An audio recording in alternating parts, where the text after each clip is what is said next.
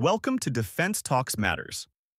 On November 12, 2024, Turkish Aerospace Industries, TAI, marked a significant achievement as the second prototype of its Hürjet jet trainer and light combat aircraft completed its maiden flight.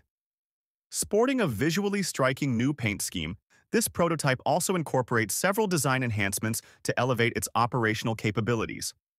Piloted by test pilot Ali Çiğli, the second Hürjet prototype introduces upgrades aimed at enhancing its versatility in both training and combat roles. One of the key improvements is the enlarged nose section, suggesting the integration of an advanced AESA radar system.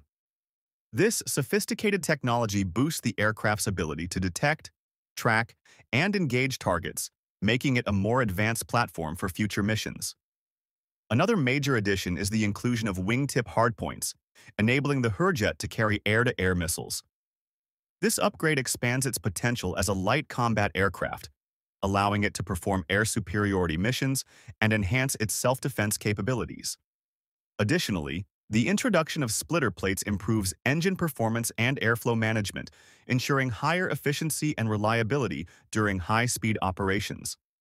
The Hürjet a single-engine supersonic aircraft is designed to replace aging fleets like the Turkish Air Force's T-38 trainers and NF-5 jets used by the Turkish Stars aerobatic team. Its dual role as a jet trainer and light combat aircraft offers a cost-effective solution for pilot training, close air support, reconnaissance, and other limited combat missions.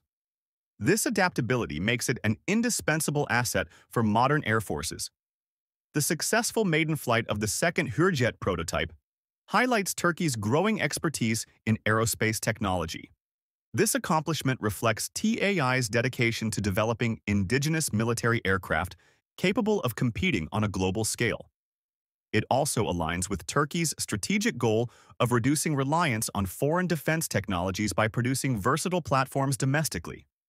With the Hürjet, TAI is solidifying its position in the international aerospace market while meeting Turkey's defense needs. This achievement is a significant step in Turkey's commitment to innovation, self-reliance, and advancing its role as a leader in the global defense industry. Please subscribe to our channel for more updates.